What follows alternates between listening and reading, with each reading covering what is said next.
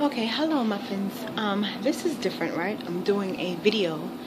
Um, I'm at work right now and um, you know, it's not really that busy tonight. So, um, I have something that I need to speak about that happened at that happened at the job. Um, it doesn't have anything to do with the job, but the incident happened at the job. Um, but I'm not going to specifically say what happened because I don't know if this person watches my weight loss channel. I have a lot of people who follow me um, on my weight loss channel at my job. So I mean, I mean not my weight loss channel, my beauty channel, and I don't want. I don't know. I guess I don't. I don't need the drama at work.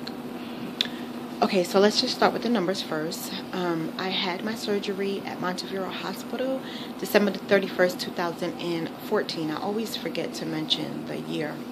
My highest weight and my highest recorded weight was 262. My current weight now is 168, and my goal weight is between 135 and 145.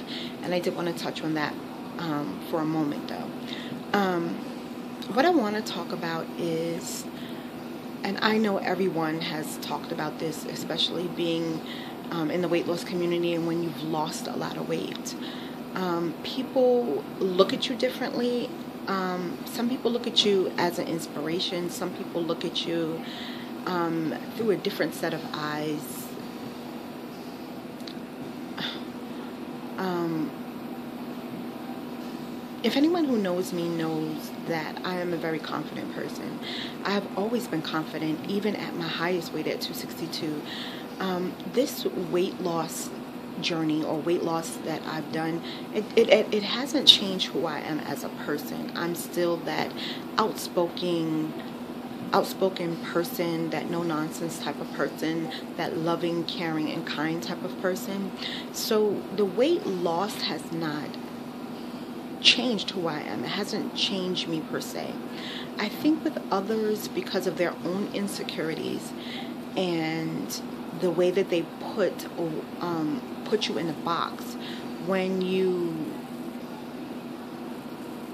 um, I guess, when you do things that are differently, when you look different, um, maybe they perceive you as being cocky or stuck up or something like that. And it's a shame that along with this journey, no one really understands what and how it is to be to go through this life being obese. Not unless you were on that on that path. Um, we get a lot of judgment. We get a lot of mean remarks. Um, I can I can't count how many times I've run across fat comments. Um, we just had a dumb bitch lady who did a video about dear fat people. Um, and then the dumb bitch did another video, um, Dear Black People. And I guess with her putting satire into it, it's supposed to mean it's some type of okay. Like, I don't get that shit. But both of them are, are drama filled. Um, you know, there's a lot of memes, there's a lot of negative things that are said about overweight people and we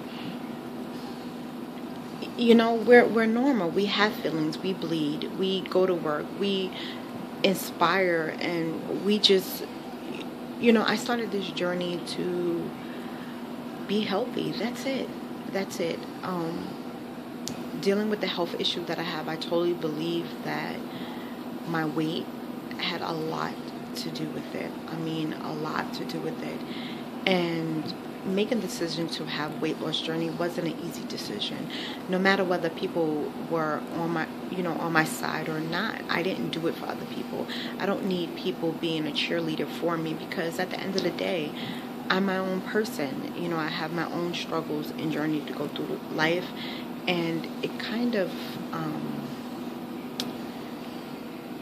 I just look at things as a different perspective when people make comments and say certain things. Um, it's quite shocking though because it lets me know that you don't know who I am as a person. And granted, I mean, it takes years to get to know someone, but I don't know. I, I don't I don't understand people putting labels on people. You know, you put labels on people and you have your own assumptions of people in general. Um, but in this weight, you know, this journey, losing weight, it not only affects your weight, it affects your family, your friends, your emotional level. Um, it just affects so much about your life. And it either could be a positive thing or a negative thing and this weight loss has been a positive thing for me no matter all of the problems that i've ever went through with this. I'm really really grateful that i had the opportunity to have this weight loss surgery. Um, and it hurts when i'm not going to really say that it hurts but it's just really shocking when people people are so negative about it, you know. Um, I, I had a inkling that this person felt this type of a way, but to actually hear it come out of their mouth was something different. Um, I'm not going to make this video too long because I am at work, but I'm going to do a part two to this. Um, it'll probably be in a little while. I think someone is actually standing at the door listening to what I'm saying. So, muffins, I'm going to cut this short and um, I'll come back later on.